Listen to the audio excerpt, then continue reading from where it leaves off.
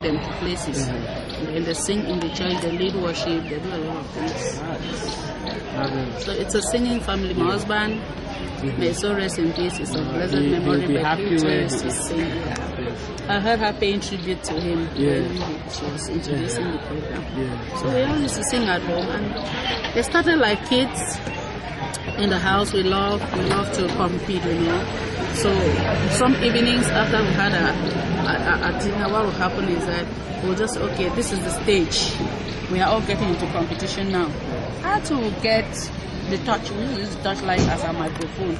Anyone who has to go on stage takes the touch, and you introduce your song, and then you sing it our hearing, and then we make we make you know we grade you know give marks so that's how they started off in fact they were still very small the twins who follow her were about four years old at the time she was about six years old and so we started singing and, uh, I would lead in the singing This means that uh, you you give them encouragement to go ahead with it. Because you know, in some homes, uh, parents always you know scare their children.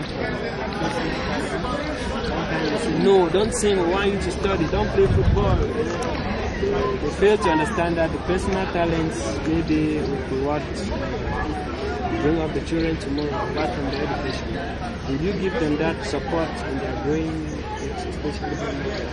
yeah. You see if I were not type to encourage I would not even join them in competing at home you know. So each time we sang at home we were competing. And I knew that anyone who was like the best I gave a prize to the best at home. So that, that kind of encouraged them to sing. Besides that, see, I, I came to discover that even though my entire family was a singing family, Bemo excelled. You know, she, she, she took to singing more than the rest of the, the children. And so we encouraged her. We encouraged her. The, the person she follows sings even better than her. Wow. Yeah, babe. And the person that one follows sings even better than that one.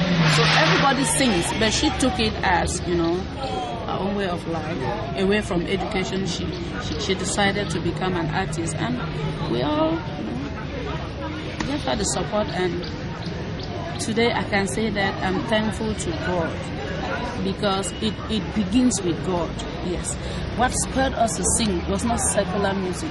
What we used to do at home every evening was, you know, church songs, songs from the hymnary, the, songs that we sing in church, and they will we, we, we kind of compete amongst ourselves, and you know that, that spurred her up. It was like that.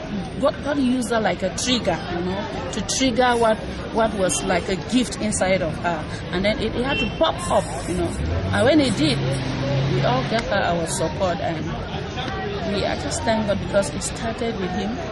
And always I would say, besides being a singing family, we are a praying family. More so because we are all born again. Yes. See, being born again is not a matter of an hour show, it's a matter of the heart. And so I, I just glorify God because Scripture says that He knew us, He predestined us even before the foundations of the world.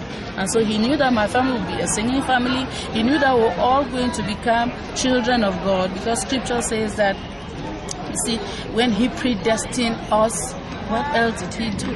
After He predestined us, He predestined us to be what? To be adopted as children unto Him.